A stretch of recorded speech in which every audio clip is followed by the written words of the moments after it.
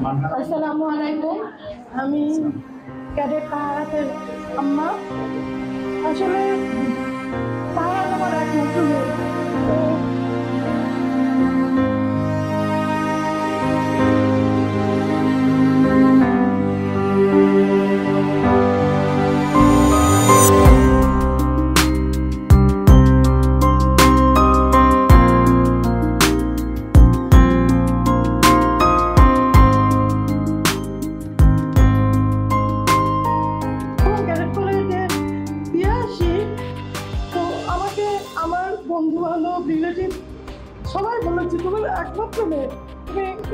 আহ, তাকে কেন দূরে সরাই দিচ্ছ?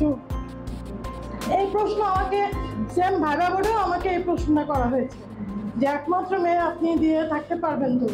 কিন্তু আসলে আমাদের এখনকার যে সামাজিক প্রেক্ষাপট তারপর শিক্ষা ব্যবস্থার কি অবস্থা আমরা সবাই জানি। সেক্ষেত্রে আমি নিজে একজন স্কুলের শিক্ষক।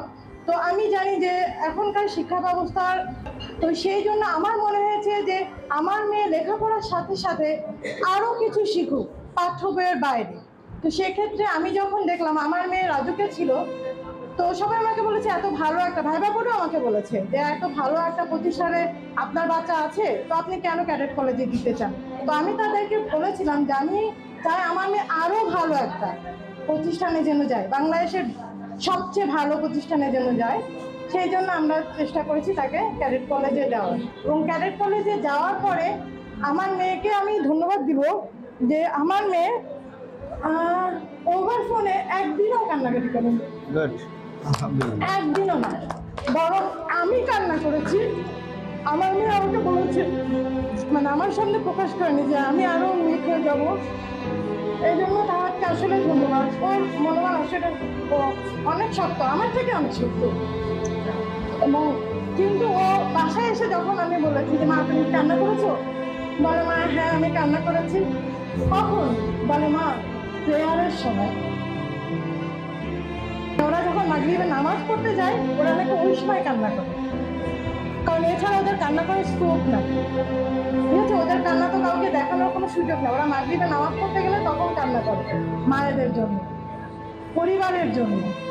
কিন্তু এটাও বলেছে, মা, আমার ধর্মের আপুরা অনেক ভালো, আমার ফ্রেন্ডরা অনেক ভালো, আমার টিচাররা অনেক ভালো। টিচাররা অনেক কোঅপারেটিভ এটাও বলেছে। আসলে ক্যারেট কলেজে এটাই। এই বারো দিনে ও যদি বলতে পারে যে, আমার ধর্মের আপুরা অনেক ভালো সিনিয়র অনেক ভালো আশা করি এর দুই মাস আড়াই মাস পরে যখন আবার আসবে ওরা তখন বলবে মা তোমার বাসা থেকে আমার ক্যারেট কলেজ আমার বেশি ভালো লাগে। এটা আমি আমি জানি ওই আড়াই মাস পরে এসে ওরা এটাই বলবে। কারণ ওটা ওদের নিজেদের জগৎ। আমরা যখন প্রথমে আমাদেরকে ডর্মে নিয়ে যাওয়া হলো ম্যাডাম এসে জিজ্ঞাসা করে ক্যাডেট ক্যাডেটকে এটা তোমার নিজের বেড নিজের লকার তোমার নিজের জিনিস নিজে বুঝে পেয়েছ তো?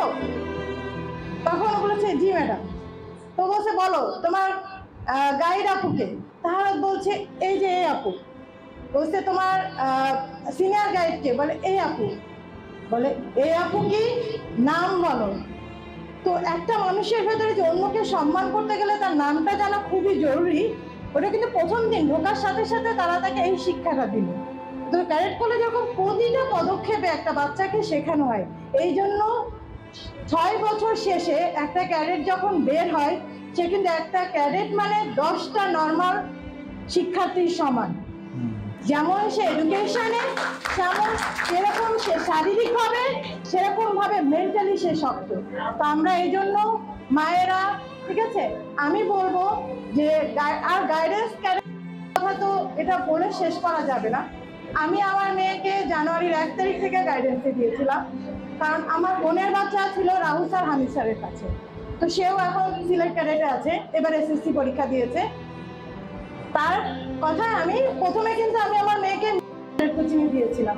যখন ও ফাইভে ডিসেম্বর মাসে ডিসেম্বর মাসে যখন ও ফাইভে পড়তো, করোনাকালীন ক্লাস হচ্ছে না, কি করব? বললাম, ঠিক আছে, যেহেতু ওর স্বপ্ন ছিল ও ক্যাডেট কলেজে পড়বে। ওকে দিয়ে দিলাম। দিয়ে আমার মেয়ে অনলাইনে ক্লাস হয়, একদিন ক্লাস করে আমার মেয়ে বলে, মা, আমি ক্লাস করব না। ঠিক আছে, মা, আমি ক্লাস করব। এরপরে তো রাজুকে চান্স পেল, তারপরে আমার জন্য এটা আরও আমার জন্য খুব ভালো হলো, যেহেতু রাজুকের পাশেই গাইডেন্স তো আমার জন্য এটা খুবই মানে আল্লাহ অশেষ রহমত যে আল্লাহ এটা মিলিয়ে দিয়েছিল। এবং রাহুল স্যার, হামিদ স্যারের ওই যে কি ভক্ত, কারণ আমার মেয়ে এর আগে আমার মেয়ের কোনো টিচার ছিল না। যেহেতু আমি শিক্ষক এই জন্য আমি আমার মেয়েকে পড়াইতাম। ওর প্রথম, জীবনের প্রথম শিক্ষক হলো রাহুল স্যার, হামিদ স্যার। এবং ওর এখনও পর্যন্ত ওর একই কথা মা আমি এরকম টিচার আর কখনো মনে হয় না পাবো আমার জীবনে। যেটা আমি গাইডেন্সে তো আশা করি গাইডেন্স তাদের এই ধারাবাহিকতা সাফল্যের ধারাবাহিকতা অক্ষুণ্ণ রাখবে এবং আমার গত বছরের যত ক্লাস ফাইভের বাচ্চারা এবার সিক্সে উঠেছে আমার সব স্টুডেন্ট স্যারের কাছে এসছে। ইভেন গতকালকে আমার আপু আমাকে ফোন দিয়ে বলতে চাই গাইডেন্সের অ্যাড্রেসটা একটু দিস তো। আমি কেন? বলে না তাহারা চান্স পেয়েছে তো এই জন্য আমার এক গার্ডিয়ান গাইডেন্সের অ্যাড্রেস চেয়েছে। তুই একটু আমাকে এস এম এস করে দিস। এই হলো গাইডেন্সের অবস্থা শুধু তাই না ভাইবা বোর্ডেও পর্যন্ত কিন্তু গাইডেন্সের নাম ছড়িয়ে গিয়েছে স্যার। ভাই- ভাইবা বোর্ডে ওরা যখন একই ড্রেস পরে গিয়েছিল এতগুলো বাচ্চা রিটেনে চান্স পেয়েছে তার ভিতরে আমরা মানে পাঁচ ছয় জন একই ড্রেস পরে গিয়েছিলাম। তো আমাকে ভাইবা বোর্ডে প্রশ্ন করা হয়েছে যে আপনার বাচ্চা কি কোনো কোচিং করেছে আমি বলছি যে না ও ও ওখানে গেলে তো তোমাকে তাহারকে জিজ্ঞাসা করছে আমি বসে আছি। তোমাকে সবকিছু নিজে নিজে পড়- করতে হবে। তা বলছে হ্যাঁ ও পড়াশোনা নিজে নিজেই করে। তা বলছে না কোচিংটা করেছে সেটা বোঝাই যাচ্ছে। ঠিক আছে? কারণ ওই দিনে একই দিনে তার অনেকগুলো বাচ্চা পেয়েছে একই ড্রেস পরা। তারা বুঝতে পেরেছে এরা একই জায়গা থেকে এসেছে। এবং আমাদের নাজিয়াকে তো সরাসরি বলেছে যে তোমরা কোন কোচিং থেকে এসেছ? তো স্যার আল্লাহ রহমত আল্লাহ আপনাদের সাথে আছে আমাদের দোয়া আছে স্টুডেন্টদের ভালোবাসা আছে। আপনাদের সফলতা অবশ্যই হবে ইনশাল্লাহ আমাদের বাচ্চাদের জন্য দোয়া করবেন স্যার। স্যার আপনারা পরিশ্রম করেন এই জন্য আল্লাহ আপনাদেরকে আল্লাহ পরিশ্রমীকে পছন্দ করে। এই জন্য আল্লাহ আপনাদেরকে ফল দিয়েছে। ধন্যবাদ আশা করি ভবিষ্যতে আরও ধন্যবাদ